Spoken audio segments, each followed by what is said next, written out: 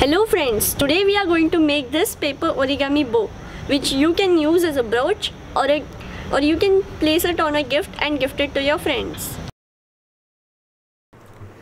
Now for making this bow, you will need an origami paper and a pair of scissors.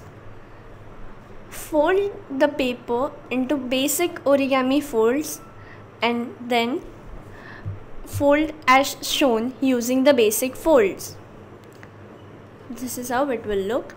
Now fold the little triangle and open it and form the corrugation out of it.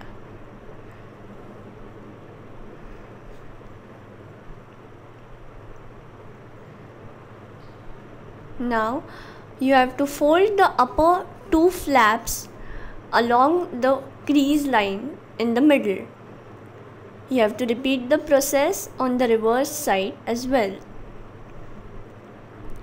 You have to gently open our folds. You can see a little square in the middle.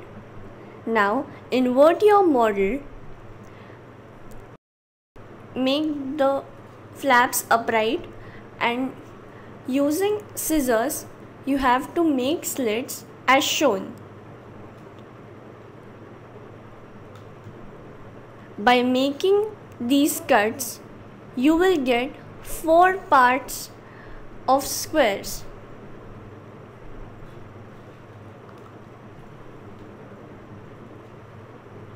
This is how your model will look and now you have to fold the opposite sides as shown. Two parts you have to fold as triangles and the remaining two as shown.